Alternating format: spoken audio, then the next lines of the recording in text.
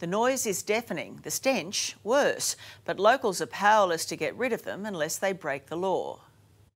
This is like from a horror movie. And it was like a bat tornado over the town. That's how bad it was. It just seems to me that every bat in Australia is now in Ingham. It's a town under siege. Overrun by bats that outnumber the population by hundreds of thousands. It just stinks. It, it stinks. Infiltrating every corner of the town and putting lives at risk. What was your biggest fear when you got scratched? Um, am I gonna die?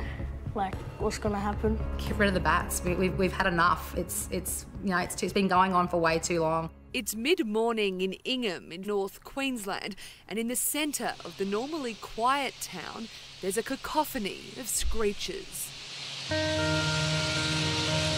The problem that we're having is that we're, we're seemingly being in, uh, influxed by more and more animals, and the roost cannot handle it. The botanical gardens are overrun with bats. Every inch of every branch is covered with them. Mayor Ramon Jayo says they've now reached biblical plague proportions. It's a nightmare. It, it is a nightmare. It's truly disgusting. Some of the trees are so full of bats, they're constantly breaking from the sheer weight of them. The bus stop, footpaths, even the town's cenotaph are covered in bat feces. But at night, it's far worse. This is what locals here have to put up with every day. There's hundreds of thousands of bats flying around. The noise is horrendous and the smell is putrid and lingers long after the bats have flown away for the evening. This can last up to an hour and is repeated every morning when they return. If you'd come up here and had a look and had to try to uh, live in this area, it would drive you insane. As the colony grows, so do concerns for locals' welfare. The bats have recently moved into trees at the local kindergarten and primary school. Adam and Suzanne Carilla are born and bred in town. Their two daughters, Ella and Aden, go to the school. We love our little town and we love our school, and it's just not okay because I've been very stressed out about it. They're now part of a growing group of parents considering pulling their children out of school for fear of them getting sick or being scratched by a diseased bat.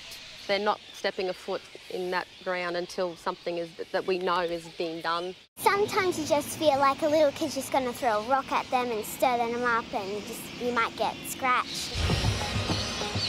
The problem here in Ingham has become so bad, emergency helicopters can no longer land here at the hospital while the bats are in flight, with the main colony just a few hundred metres down the road.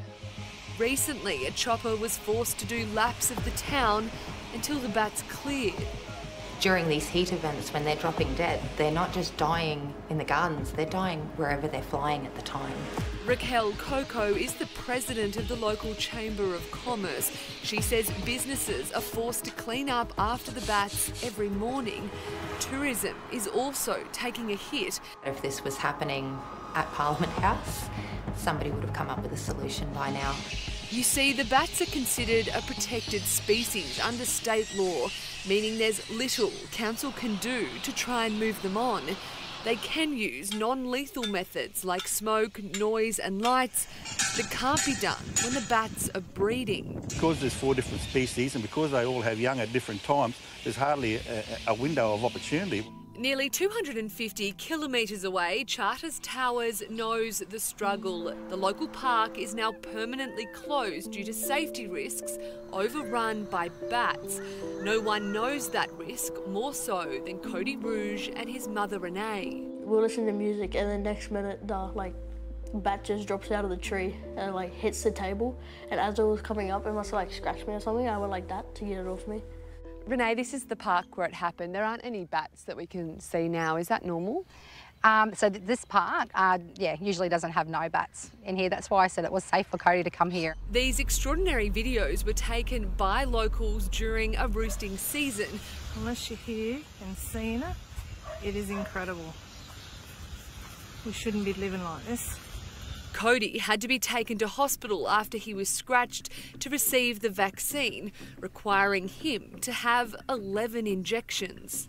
And what was your biggest fear when you got scratched? Um, am I gonna die? Like, what's gonna happen? Yeah. That thought went through your mind? Yeah.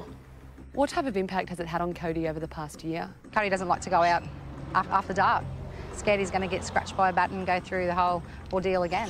The biggest concern with diseased bats is the lyssavirus, a rabies-like disease that's contracted via bites and scratches. In Australia, there's been three confirmed cases of bat lyssavirus in humans. All three were fatal.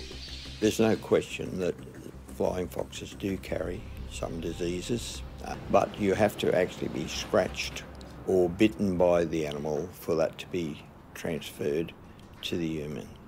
Des Boyland is from the Wildlife Preservation Society of Queensland. He says bats are essential to our ecosystem and the risk of disease is low. If people value forests and our woodlands, then bats are absolutely essential.